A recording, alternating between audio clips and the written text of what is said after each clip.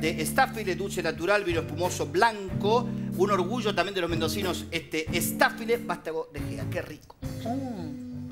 Buenísimo. Tenemos lo de Buenos Aires, quiero contarles, yo le, yo le conté fuera de micrófono lo que nos, lo que no- lo que nos pasó.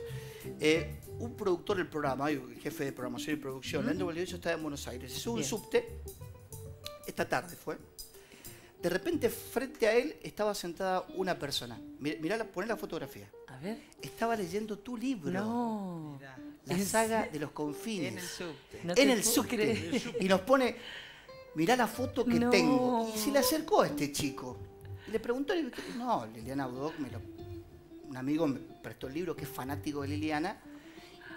Y se llama Alejo este chico. E incluso el libro está autografiado por vos. Y, el productor dice, supongo que alguien te lea el libro en, eh, eh, en, tu, en, en- en el subte en Buenos Aires como que alguien para algún cantante le cante las canciones en la cancha. Alejo, ¿cómo te va? ¿Qué decís? Buenas noches. ¿Qué tal? Buenas noches, ¿cómo les va? Gracias por llamarme. Mira vos que te casamos leyendo el libro de Liliana que está aquí con nosotros en el estudio. Sí, impresionante, la verdad que ¡Qué maravilla! Esta- a las 5 de la tarde no pensé que iba a pasar esto a la 1 de la mañana. Porque ibas en el subte leyendo un libro que te prestaron este libro. Sí, me lo prestó un amigo que es fanático de la saga de los confines y que me viene taladrando desde hace mucho tiempo.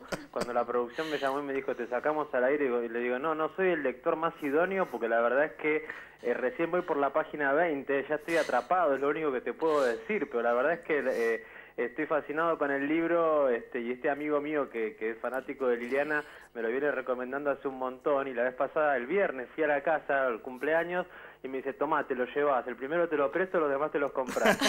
este, así que fue, una, una cosa muy graciosa que estando en el subte, este, una persona me toca este, la, la rodilla y me dice, discúlpame, te saqué una foto, soy de la producción de un programa de Mendoza que va a salir hoy a la noche, que viene Liliana Bodoc. Bueno, me, me impactó la coincidencia. En el Bueno. subte, me- una vez leyendo el libro del- de Cedrino Di Giovanni, me doy cuenta al levantar la vista que lo tenía sentado enfrente mío. Así que, Pero, eh, pero es que te persiguen los de escritores. de escritores. ¿eh? Claro, te perdieron los escritores porque ahora Liliana está sentada aquí en el estudio, está escuchando muy emocionada tu relato. Decir lo Sí, que quieras. estoy viendo, la estoy viendo porque aunque estoy en Buenos Aires estoy Ah, viéndolos a través está viéndolo por de internet, así que un, un placer por lo menos este contacto con una escritora tan grosa este, por este medio. ¿eh? Pero te agradezco mucho, me, me encantó verte leyendo. Además, ¿sabes qué?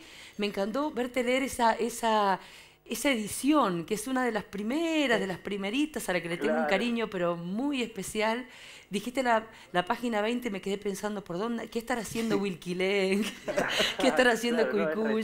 ahí empezado, estoy, enganchadísimo, la verdad. Qué bueno. Uno pierde la costumbre de leer y, y la verdad que esa edición justo está tan buena, es tan de bolsillo que para el Claro. subte es Sí, ideal. es Yo que tengo subte. casi una hora de viaje hasta el laburo, me viene bárbaro y, y abandonar un poco el celular con el que uno está conectado. todo el Totalmente. tiempo, ¿A qué te dedicas. Alejo? ¿A qué haces?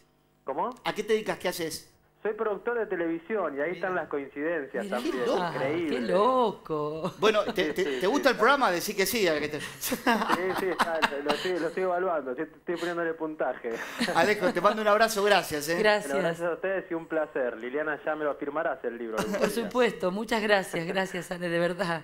Chao, hasta luego. Chao. Un placer, hasta luego. Oficio de búhos. Qué aquí porque, lindo. porque, ¿viste? No lo puedo Pero- y- Y, creer. después otra cosa que la gente no sabe, los camarógrafos y los productores y los sonidistas, microfonistas en este caso, claro, trajeron el libro para que, para que Liliana lo dedique. ¿Viste? ¿Viste? Bernardo. Bernardo, exactamente. Bernardo. Bernardo, nuestro Bernie. microfonista. Cuando escribiste en el año 2000 fue que escribiste eh, este, este. Claro, claro. En el año 2000 terminé la escritura que la había arrancado. ¿Dos años te llevó a escribirlo? Eh, do- dos años cada uno de los libros de las sagas, exactamente. Sí, sí, sí. ¿Y qué hiciste eh, con, con- con ese borrador que tenías bajo el brazo? ¿A quién se lo llevaste? ¿Se lo llevaste a Rutman? ¿Julio Rutman fue el primero? Julio Rudman fue el primero que lo leyó y que me hizo una, una devolución preciosa, eh, amorosa y, y- y- y seria, como, como es él, amoroso y serio. Eh, fue mi primer lector, casi, casi mi primer lector. Y Eh, había que animarse a llevárselo a alguien, ¿no? Y él me dijo, ojo, me- y, y me lo dijo, y fue así, tal cual. Me dijo, ojo, no, no va a ser fácil, no va a ser fácil, es una saga épica, pero anda. Y fui. Que hiciste un día, decidiste ir a Buenos Aires, ¿qué dijiste? Dijiste, bueno, eh, si me va mal voy a visitar a mis hijos. Eso dije, mis, eso dije, mis hijos vivían allá. eh, en realidad, más que decirlo yo, lo dijo mi marido. ¿Cuántos hijos tenés? Dos. Dos. Dos, dos. Galileo y, Y Romina. y Romina. Galileo y Romina, eh, que estaban allá, y lo- en realidad lo que dijo mi marido, dijo eso, bueno, en todo caso, ve- ves a los pibes. Bueno, y la verdad que fue una sucesión de no, no, no, no, no. ¿Pero, como- qué, ¿Pero lo, lo- lo leían o ni siquiera lo leían? Eh, entiendo que mayoritariamente No ni lo leí, leía, claro. ni lo leía, ni lo Mira leía. vos. ¿Y Eh, ¿Quién te dio importancia? ¿Quién te dio bolilla? ¿Quién te abrió la puerta? Bueno, el, el- el primero que lo leyó, y, y lo leyó casi casi por una casualidad, ¿eh? Con- eh, contada por él, eh, he contado esta historia, pero te la cuento a vos. él había, me había recibido ese, ese manuscrito que yo había llevado, y nada, ese, ese ejemplar. En verdad él lo había dejado ahí. ¿Para qué? Para dárselo a la señora de la basura. Así me lo dijo. Sí, señor. Sí, señor. Total que alguien lo llamó por teléfono, le dio un dato. Este señor, Antonio Santana, que quiero enormemente, no tenía dónde diablos escribir ese dato.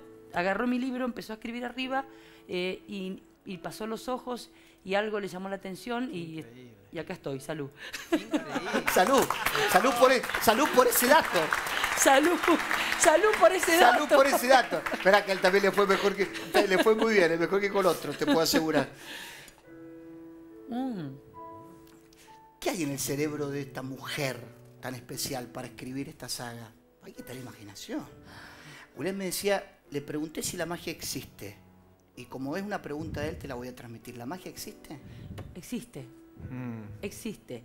Existe. A ver, es difícil de percibir, no tiene nada que ver con el abracadabra, no tiene nada que ver con hacer las cosas fáciles, pero existe. Eh, eh, y, y ¿sabes con qué tiene que ver, digo yo? Con entender las conexiones que nos unen a todos. ¿Pero qué? ¿Energías decís? Energías, amores. Pero para eh, escribir de, de magia hay que ser mágico. ¿Sabes? ¿Se entiende esto? Hay que respetar la magia. Hay que respetar la magia. Yo la respeto profundamente. Eh, sé que hay gente, sé que hay gente, y no quiero que se entienda mal, oh, bola de cristal, Sí, oh, no. sí, sí, sí. no, no, no, no, nada de eso. Sabiduría, sabiduría para ver lo que no se ve a simple vista. La magia está más allá de, de tu carita, eh, más allá de lo que vemos, de esta copita, de este libro. Y el que sabe ver más allá, ese es el mago para mí. Pero, pero hay que tener una cierta sensibilidad, más allá de saber escribir. Para ver la magia, para darte cuenta de, las cosas que van a atrapar a una persona, porque no es lo mismo hacer una película que escribir un libro.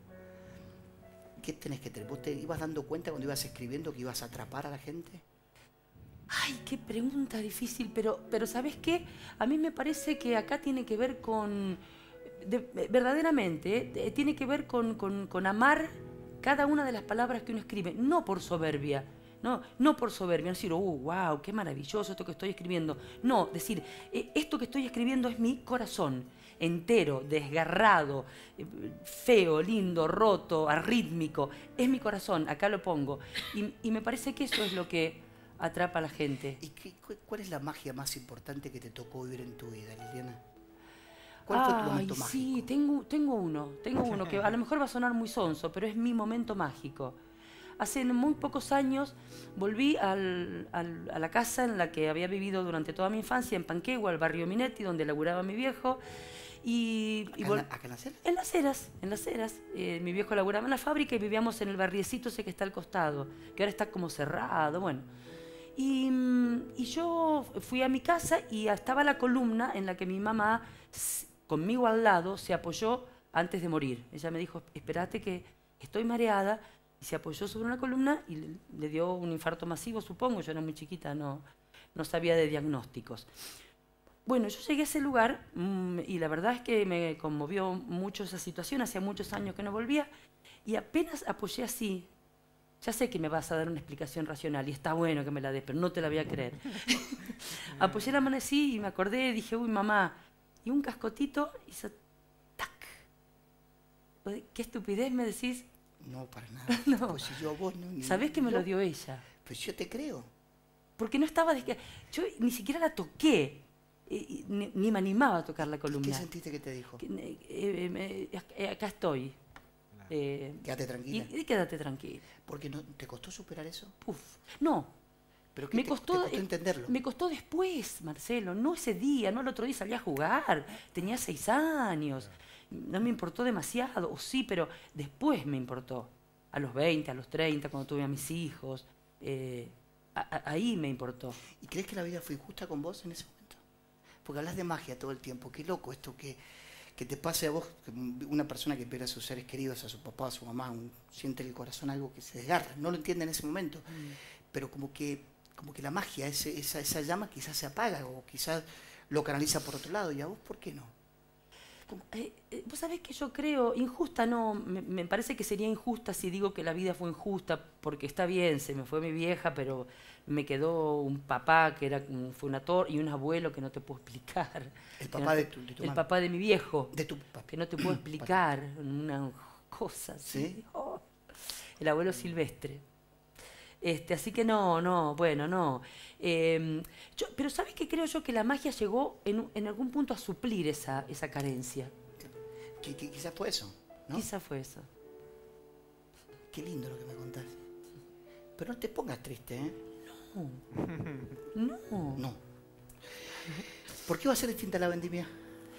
Bueno, ¿Va a por- ser épica, dijiste? eh, sí, va a ser épica, va a ser épica como cualquier fiesta popular, ¿no? Me parece que no puede, ni- imposible pensar una fiesta popular sin épica, ¿no? Sí, épica. ¿Qué va- cuál, cuál va a ser ese quiebre? ¿En qué momento crees? Eh, eh, Mira, a, a- a mí me toca la palabra. Vos todos Sí, saben, cualquier sí. mendocino sabe que es- la fiesta es interdisciplinaria. Bueno, pero hay que animarse a escribir en vendimia. Nadie va a cuestionar a Eliana Budok, pero meterse en el tema vendimia para vos, supongo, lo pensaste dos o tres veces. Y un poquito más. Claro. un poquito más. No, claro, claro, porque el otro lenguaje, digo, es, es esto, no, no es mi cuento. Le gustará más, le gustará menos, es mío. Eh, no, no, acá hay un trabajo de equipo, hay una gente que con todo, el pueblo, esperando esa fiesta, porque esa fiesta lo representa. Con lo cual, eh, nada, me parece mayúscula la responsabilidad, pero de verdad mayúscula. Así que no, bueno, trabajando, trabajando con una nueva poesía eh, que me parece que tiene que ser contundente, digo, al margen de los resultados que yo haya logrado, eh, que tiene que ser contundente y tiene que ser sencilla, pero también tiene que ser conceptuosa, tiene que tener conceptos la vendimia, no solo metáforas, ¿no? Claro. ¿De un, un hilo conductor, decís? ¿O en general los conceptos? Un- sí, un hilo conductor. ¿Qué es lo más difícil de conseguir? Sí, No es tan sí. Que en este caso es un hilo conductor bastante simple y bastante simbólico. Es decir, no hay un relato, eh, un relato, Sí, sí. presentación, nudo, desenlace, tipo cuento. No. Pero digo, cada postal, viste que el título, digamos, que le puso el equipo es ese, eh, postales de un oasis que late. Bueno, cada postal, yo me propuse que cada postal eh, hiciera carne un concepto, alguno, que tuviera que ver bueno, con muchas cosas, con, con- el miedo, con la esperanza, eh, nada, con el tiempo. Con la vida misma, ¿no? Claro. ¿Qué es la vida? Uh. A mí me parece que es un poema. A mí me parece que es un poema. Porque, ¿sabes por qué me parece que es un poema? Porque uno puede volver a leerlo infinidad de veces, infinidad de veces es diferente. Y, y- y llega al punto final, pero nos queda la música. Eh, así que a mí se me hace parecidita a un poema. Bueno, eh, no, no voy a ser tan egoísta, me voy a quedar con el acá. Compartí, me- me- Marcelo. Me, me está pidiendo el grupo que lo- la lleve. Te voy a pedir que me pongan el comercial de, eh, de Sol Andino ahora, puede ser. El comercial ahora y luego cu- culmino el- el- la publicidad